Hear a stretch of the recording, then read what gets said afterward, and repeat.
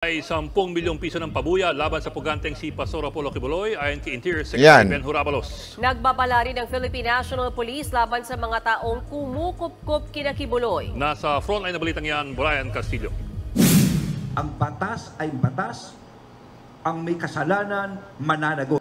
Ang arte. Action star. Ang batat at batat. Ang may katalanan, may katalanan. Hindi, alam mo, pa-action star din ito si ano eh, no? Hindi bagay. Hindi, sa totoo lang, huwag niyong ginagaya kasi si Duterte. Ang dami kasi ngayon na gaya-gaya kay Duterte. O akala nila, ah, o, o, o, magiging okay yung ano nila pagka ano eh. Hindi ah, totoo, walang biro ito. Feeling talaga nila magiging okay sila eh. Pagka ginaya nila yung style ni Duterte. Huwag ganun. Kasi alam naman ng tao na hindi kayo ganyan. Oo, huwag kayong bolero.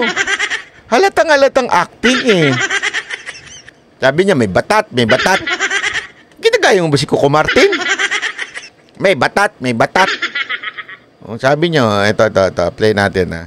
Ay 10 milyong piso ng pabuya laban sa puganteng si Pastor Apollo Kibuloy ayon kay Interior Secretary Ben Hurabalos. Nagbabala rin ng Philippine National Police laban sa mga taong kumukup-kup kina Kibuloy. Nasa frontline na balitang yan, Brian Castillo.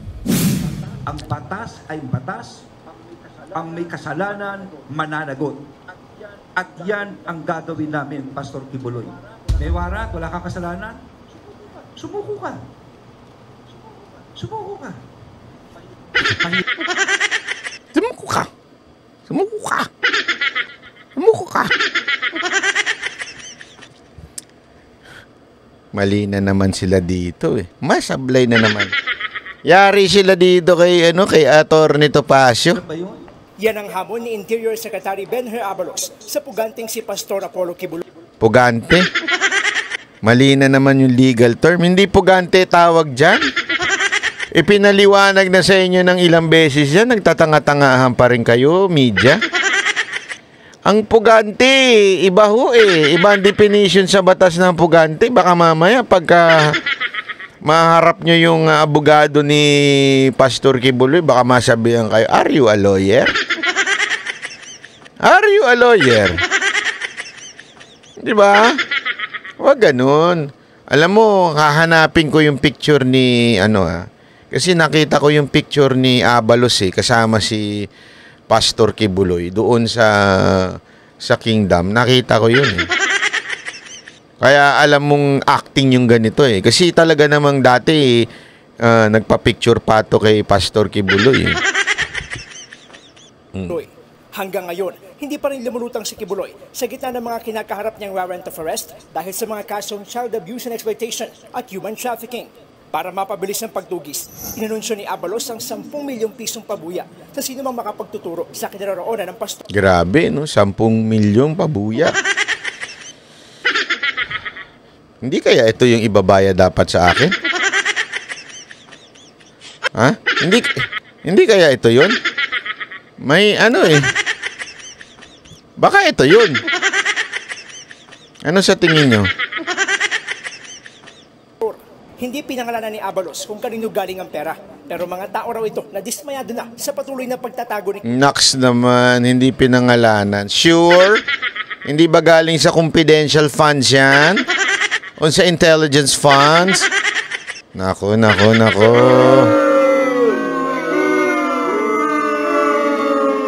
Ako, basa ko dito. Isa lang basa ko dito. Pag nahuli, ha? Malaking, ano ito eh. Siguro sa tingin nila, pag nahuli nila si Pastor Kibuloy, eh, malaking accomplishment para sa pagkakandidatura ni Abalos. Ano sa tingin niyo? Hindi ah. Baka lang. Baka lang ho sa pagiging ano niya, pagiging, ah, alam mo naman, may pangarap itong maging senador. Eh siguro, isa ito sa magiging ah, plataforma niya kuno o yung campaign niya. 'Di ba? Nahuli ko ang mga ganun, 'di ba? Malay niyo. Malay naman. Ako, ako, ito lang, ako, suwestyon ko lang naman to, ah, Secretary, Secretary Abalos. Suwestyon ko lang naman. gamitin mo na lang yung 10 milyon na humuli kayo ng mga drug lord, humuli kayo ng mga talagang mga notorious na mamamatay tao, kung sino yung nagnakaw doon sa o, doon sa huling ah, raid, ano ba yun, yung huling ah, checkpoint ninyo. Gamitin nyo na lang to doon. 'Di ba? Kasi itong kay Pastor Kibuloy, hindi naman ho siya ah, tumatakbo sa batas.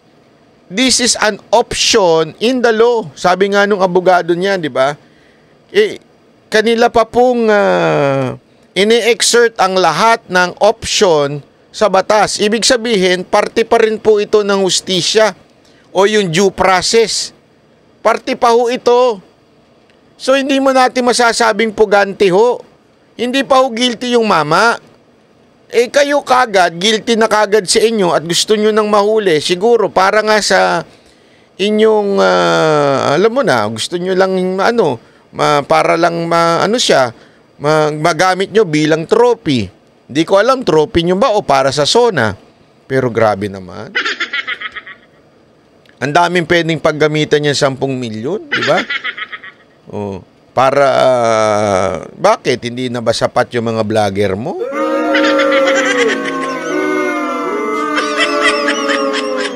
Hindi. Ako nagtatanong lang naman ha.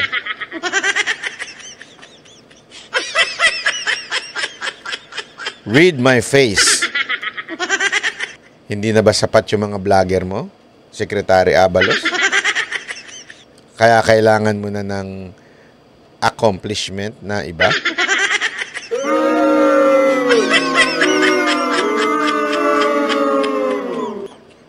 Meron akong alam, di ko sasabihin.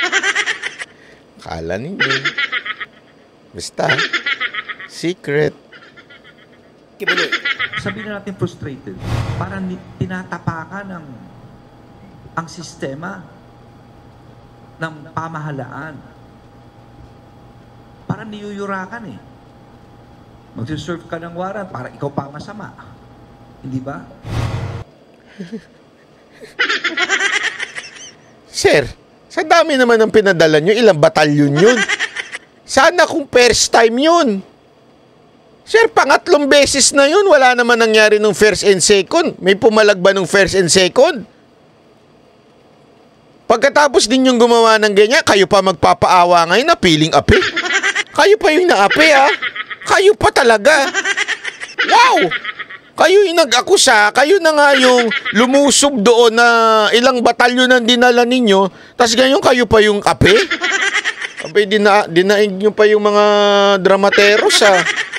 Pagkatapos yung mag-akusa na may spy, pagkatapos yung mag-akusa na pataasan ng ihi, biglang nung kayo ibinanatan, biglang api kayo? Nagsumbong kayo doon sa uh, budanding na babae? Ano to? Big pabiktima? Ano sa tingin mo, Ana Rot? Nagsumbong pa sila dun sa balyena eh. Dagdag pa ni Abalos, kung totoo ngang inosente si Kibuloy, lumantad na siya para linisin ang kanyang pangalan. Meron tayong tinatawag na korte, no? Oo nga. Yung pala, alam mo pala eh. Alam mo pala eh. You know. O bakit para saan pa yung 10 million? May korte naman pala tayo eh. May, may paraan para gawin ng mga bagay-bagay. Nag-a-appeal pa yung abogado ni Kibuloy. Tapos sasabihin nyo ngayon, nagtatago na. Eh may appeal pa eh. May ginagawa pa eh. Alam mo palang may husgado tayo pero ang asal mo, asal husgado ka. Pambihira naman, sir, oh. Sumurrender na lang po tayo para matapos na po ito. Harapin po natin ang akusasyon. Wala pang komento ang kampo ni Kibuloy tungkol dito. Bukod naman sa pastor, may tigay isang milyong pisong pabuya na rin para sa ikadarakip ng lima pang kapwa niya akusado. Yan ay sina Crescente Canada, Pauline Canada, Ingrid Canada, Sylvia Semanyes at Jacqueline Roy.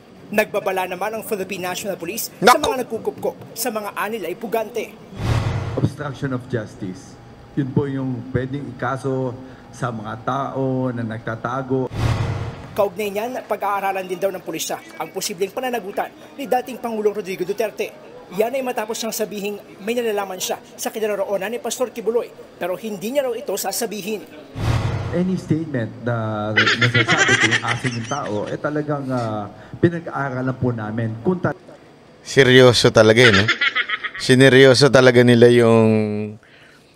Hindi, actually, napanood ko naman yung buong interview. Hindi naman si PNP chief, yan ang sinasagot niya. eh. Mali lang yung...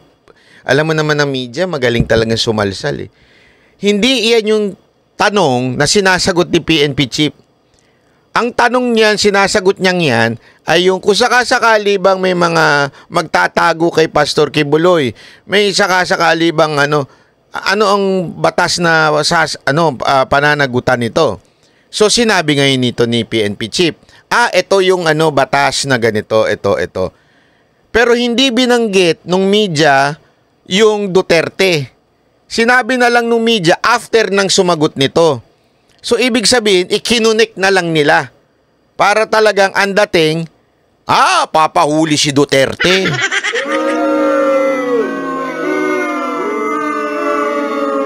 Sa bagay, in- in- kasi pagka yung mga bali-balita, yung mga in-upload, hindi naman masyadong pinapanood ng tao yun eh.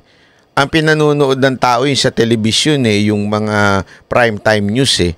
Eh, Sa primetime news, ang dating talaga, parang ipahuhuli ni PNP chief si Duterte. Walang ganun.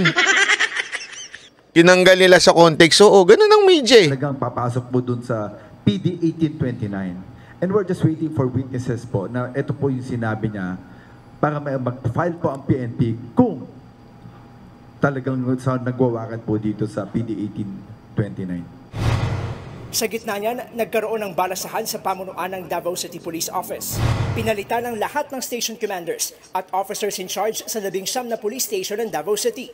Paglilinaw naman ng Davao Police, wala itong kinalaman sa paghahanap kay Kibuloy. Grabe, no? Ilan yan tinanggal, ha? Ito po'y mga ano, ha? E, tinan nyo, nakikita nyo ba yan? O, baka linawin natin, ha? Ito ho'y mga station commander, assistant station commander. Hindi ho ito mga ordinaryong pulis bigla mong tinanggal. Lahat to, ha? Ilan nung presinto ito? Tapos sasabihin nila, normal daw yan.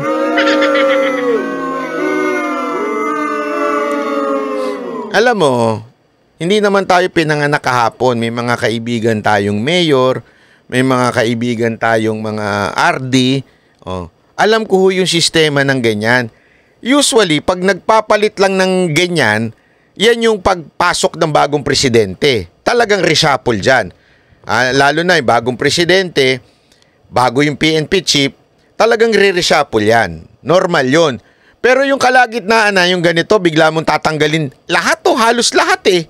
Oh, mga ano yan, mga mga matataas, station commander, station commander. Oh, puro mga ano yan. Alam niyo yung station commander, sila mismo. Tinanggal mo. At hindi lang isa. Maraming kang tinanggal, iba't ibang istasyon ng buong Davao City. Tapos sasabihin mo, normal? Eh, sa totoo nga lang, kahit nga magpalit ng presidente, hindi naman sabay-sabay. Marami. Pero hindi lahat. O hindi talaga sobrang dami. Kasi ma, ma, ma- ano eh, kailangan pag-aralan yung syudad eh. Bago mo ilipat lahat, magtutulong-tulungan yan eh. Kung ano ba yung lugar na to, bigla mong tinanggal lahat. Talagang pinilay mo yung lugar. Para talagang, yung mga kriminal, ah, bago lahat to, hindi alam, hindi kabisado. Mantakin mo. Anong kagaguhan naman yun? Tapos sasabihin ninyo, wala lang. Hindi naman po ata tama yun, sir, mga ma'am. Nino naman ng Davao Police, wala itong kinalaman sa paghahanap kay Kibuloy. There's no relation about Kibuloy case, no relation with politics, no relation Madam naman. Alam ko, kailangan mo lang i-deny, pero wag mo namang gawing tanga mga Pilipino. Sabi nga dito, 19 stations, tinanggalan ng mga head, pati yung assistant, head. Tapos sasabihin nyo, wala lang. Ano to? Yan yung ano, harap-harapan kang dinuraan. Tapos sinabi mo, ay sorry, hindi ko sinasadya. Di ba? Wala naman akong plano, nandura lang ako. Anong plano mo? Ba't mo dinuduraan?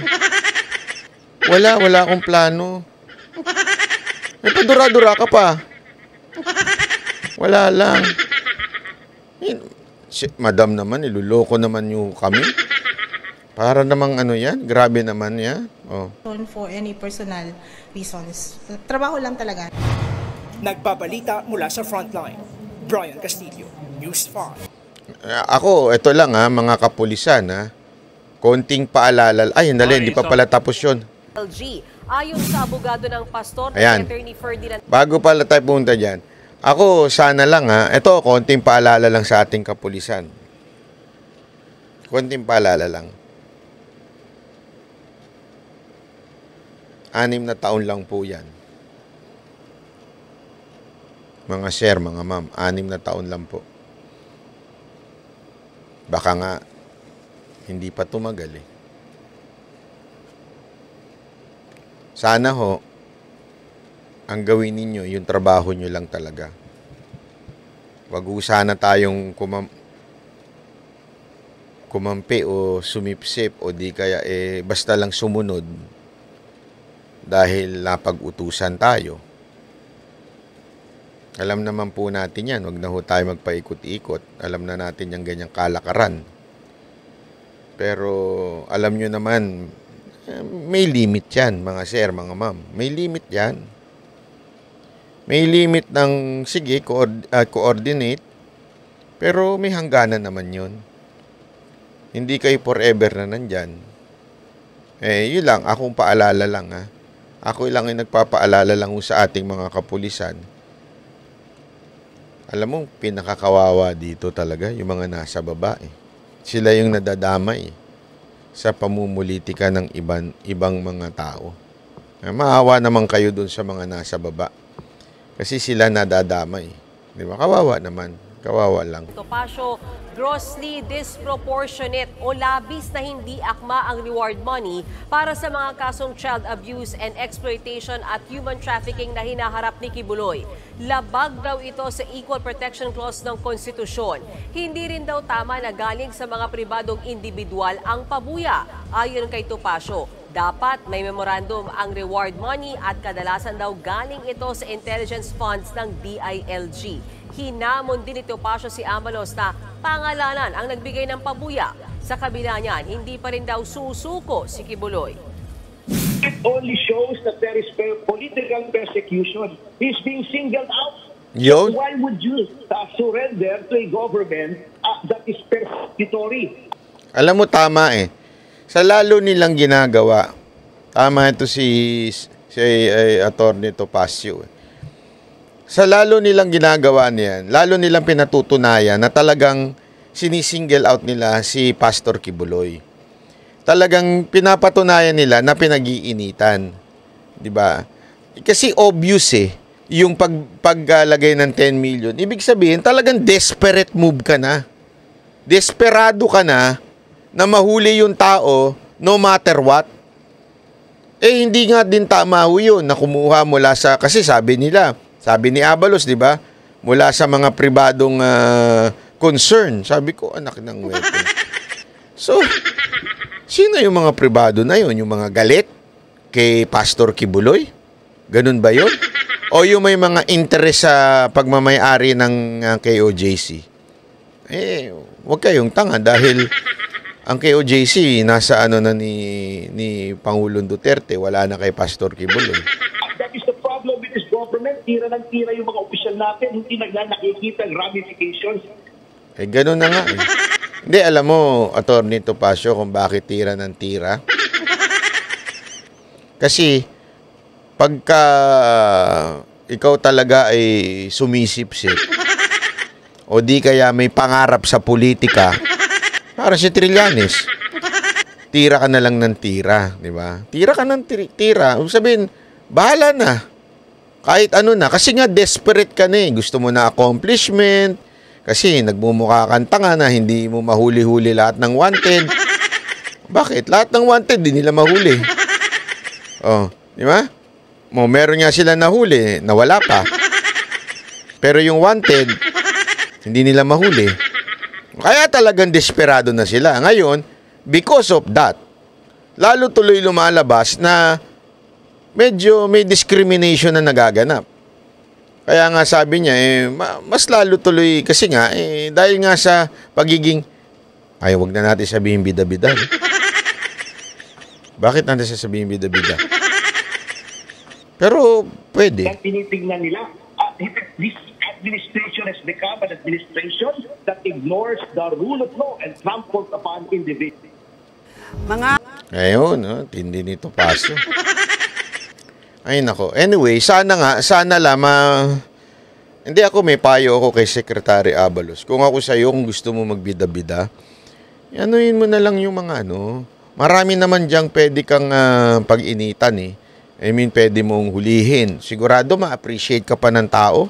Yung hulihin mo yung mga mga talagang drug lord, ah, mga Chinese ah, mafia, o yung mga mga addict sa, sa mga nagtutulak, 'di ba? Yun.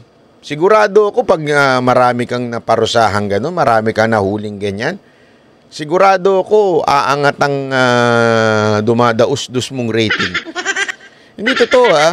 Kasi kita mo naman yung ah, ano mo. Hindi ka nga napapasok sa survey. Di ba? Kahit anong pagpapakyut mo, kahit anong pagsali mo sa sa mga teleserye, hindi ka umaangat.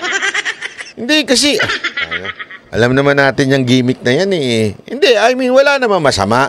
Ah, kung sakaling pumasok ka ng teleserye, ah, hindi, hindi ko naman sinasabi ah, pag nag-artista ka na masama. ah. Hindi na sinasabi natin ha.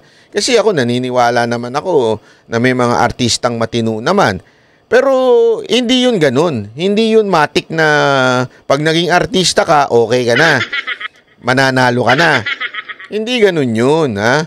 Kasi nasa accomplishment pa rin yan. Eh, etong ginagawa mo kay Pastor Kibuloy, it's a sign of uh, desperation.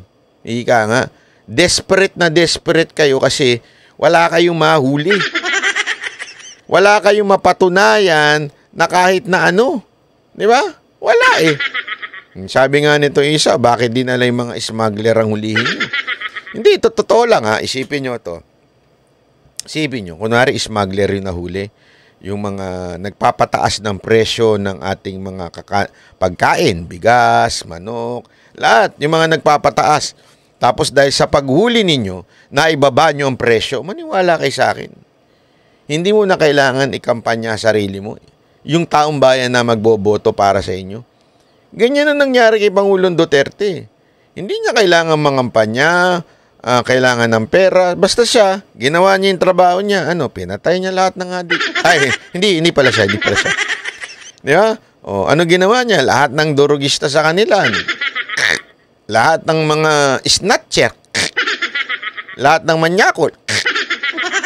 Yeah, oh, hindi niya na kailangan yung Nakita mo ba si Pangulong Duterte na pumasok sa pelipelikula? Gawin mo lang yung trabaho mo ng tama. Hindi, eh, sigurado taong bayan na mag-aangat sa'yo. Di ba?